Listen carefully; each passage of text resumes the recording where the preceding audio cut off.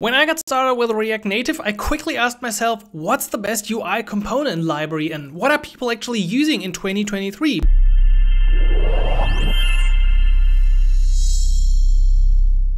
Because React Native only gives us some basic types like a text, a view, or a scroll view. And I asked this question on Twitter, and I think people were kind of interested in this as well because everybody said something else. So here are nine UI libraries that you can use with React Native in 2023, and we're gonna start with number nine. Number nine is Restyle, and I only discovered this because somebody left a comment on my tweet, and this is a library that really helps us to implement design systems. So it's not really a library of components. There are a lot of helper functions to set up your design system and then create themed components based on your design system. It has about 2k stars on GitHub, so not too bad. So go check it out if you want to implement an important design system in your application. Position 8 goes to GlueStack UI, which is actually in alpha right now, but by the creators of a package that we're gonna see later up in this list. So this is Universal Headless Components. It's very early days, but the cool thing is that this should in best case be for React, Next.js and React Native, meaning not only mobile but also web support. Under the hood, GlueStack is actually also using Dank, which is also an alpha, which is an universal and performance styling library that is used, and the actual components provided by GlueStack UI.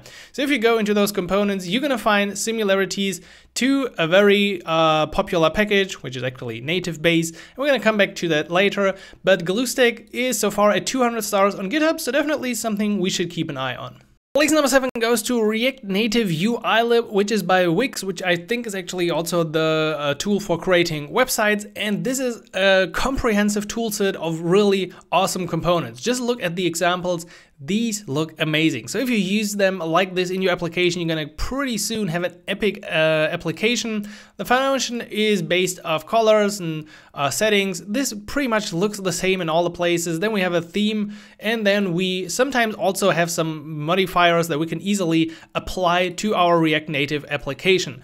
With 5k stars on GitHub, this is one of the most uh, or the biggest uh, React Native component libraries and many people replied that they were using this because really there are tons of components. So go check it out. Wix is certainly an idea for your React Native app. Place number six goes to UI Kitten, something I definitely didn't have on my list when I initially looked for UI libraries for React Native. So this is also uh, especially made for uh, design system based on the EVA design system, which I actually never heard about, but multi-theming is a big thing, so you can easily switch out your theme. This is dark and light, of course, and this is based on the EVA design system, which is kind of made for companies to create their own styling. And the cool thing is they actually have a working uh, example app. For all the other things that I tried, the apps didn't work. The Snack or the Expo Snack stuff didn't work for any of these.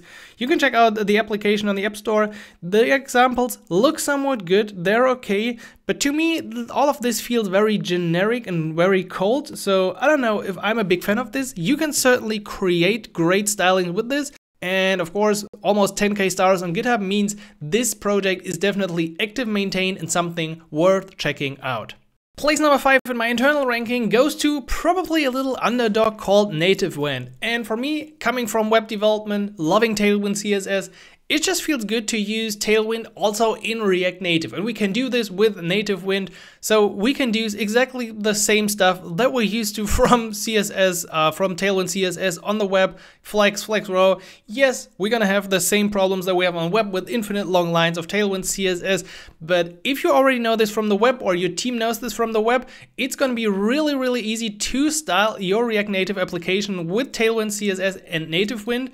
It has only 2k stars on GitHub, but maybe we're gonna see a little uprise of native wind in the future when Tailwind becomes even more dominant. While some might say this is deprecated, I still think this deserves place number 4, so let's talk about Native Base. Native Base is actually what I selected when I just got started with React Native and I found this to be the most used and most popular package. With almost 20k stars on GitHub, Native Base was or probably still is one of the best packages for React Native with tons of great components that you can use.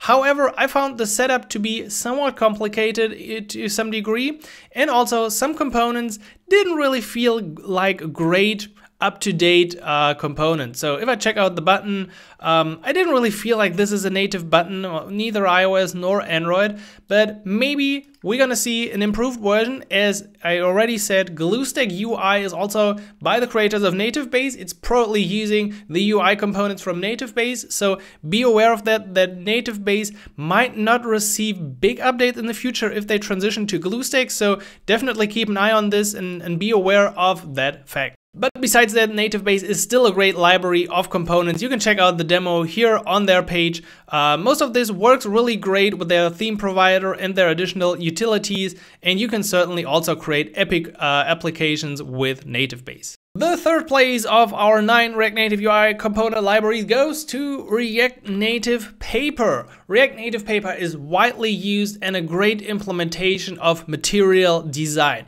The components definitely closely follow everything related to material design and the good they also have a working application that we can check out. And yes, the examples in here certainly look great. I can't deny this. Most of what you're gonna find in the dummy application here of components looks really, really great. Now, I've been never a big fan of material design for iOS.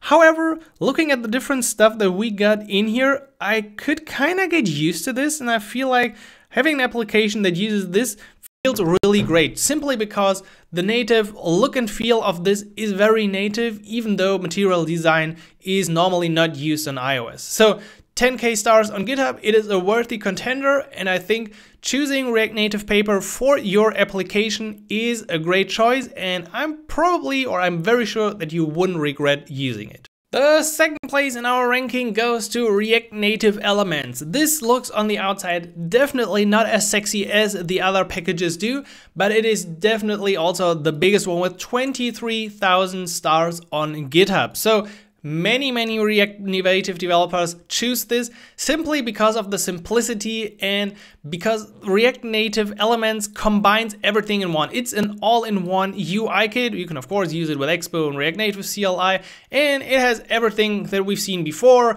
We got styled components, we got a theme provider, and we also got tons of components out of the box that look somewhat good.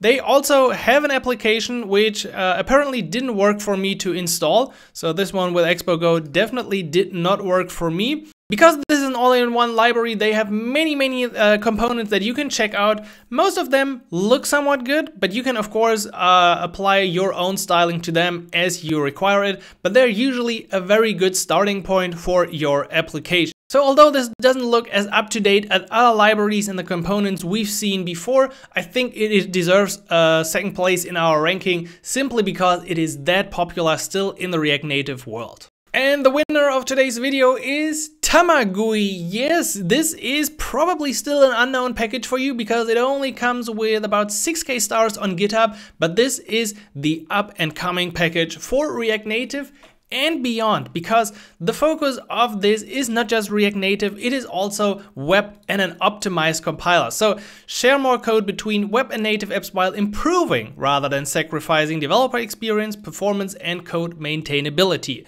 The creator Nate has also recently been on the Syntax FM podcast.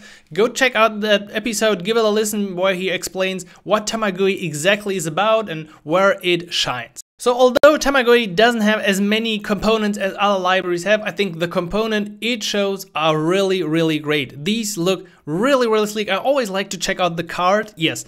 And most libraries don't get the card shader right, but this card certainly looks super sleek.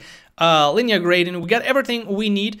And I think this deserves the first place because it is up and coming, it is a great idea behind this, and most importantly, we see the same with Expo happening right now. Expo was for React Native and iOS and Android, but with a new Expo router, with a new SEO tech that was announced at AppJSConf, we're gonna see that Expo evolves from React Native only for iOS and Android, also for the web. And if we think about this, Tamagui perfectly fits into this, as Tamagui's focus is also not only React Native, but also giving us great styling on the web. So Expo and Tamagui for 2023, I think that should work. Alright, so that's it for today's rating video. I hope you enjoyed it and you learned something. Let me know in the comments what your preferred package. Would you think that Tamagui is the thing for 2023 and beyond for React Native developers? I kinda think so, that we should focus on this and I will definitely create something about it very, very soon. Leave your opinion right here below the video in the comments and I will hopefully catch you in the next video. So until then, happy coding, Simon.